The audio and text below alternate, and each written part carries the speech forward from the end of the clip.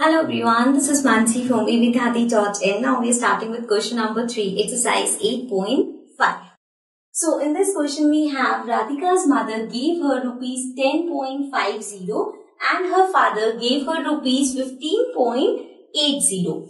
Now यहाँ पे हमें गिवन है कि राधिका की मदर ने उसे 10.50 रुपीस दिए एंड उसके फादर ने उसको 15.80 रुपीस दिए ठीक है अब हमें फाइन क्या करना है? Find the total amount given to Radhika by the parents अब हमें निकालना उसके पास टोटल कितने पैसे दिए उसके पेरेंट्स ने उसे? So again let's take an example आपकी मामा ने आपको टेन रुपीज़ दिए, ठीक है?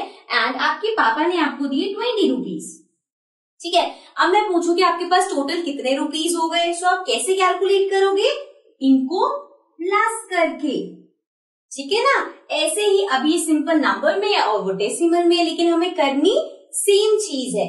जितने मदर ने दिए और जितने फादर ने दोनों को प्लस कर देंगे। ठीक है? सो लेट स्टार्ट नाउ उसकी स्टेटमेंट बनानी है। So we can write it as Radhika's mother gave equals to इतना, या money given by her mother and then money given by father so let's start money given by mother अब उसकी mother ने कितनी money दी है? Rupees ten point five zero right next है money given by father अब father ने कितने रुपीज़ दिए हैं? Rupees fifteen point eight zero again हमें इसे आगे जाके ऐड करना है। सो डेसिमल के नीचे डेसिमल को रखना है। So this will be fifteen point eight zero okay अब इतने मदर ने दिए इतने फादर ने दिए फाइन क्या करना है?